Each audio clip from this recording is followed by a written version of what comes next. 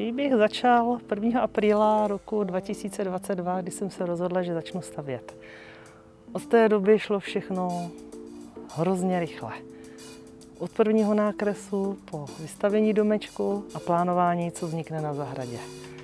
Začali jsme zahradním domečkem, kam bylo potřeba uložit potřebný materiál. Uplynulo tři čtvrtě roku a pokračovali jsme přístřežkem pro automobil.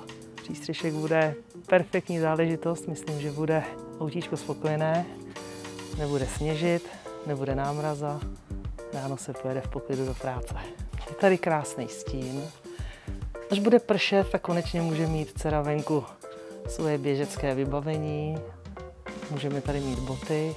Průchod vlastně na zahradu, ten se nám nezmenšil, naopak. Bude to i krásný přistínění pro kytičky, jelikož doteďka tady bylo hodně světla, hodně slunka, taky zahrádka trošku trpěla. No a když potom se sluníčko převrhne tam, kam se převrhne a je tady moc teplo, tak se půjde do zahradního domečku a tam se pokračuje v krásném posezení. Je tam příjemná atmosféra na večer. Koukáte do zahrady.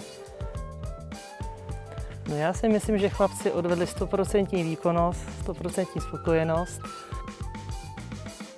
Splněný sen.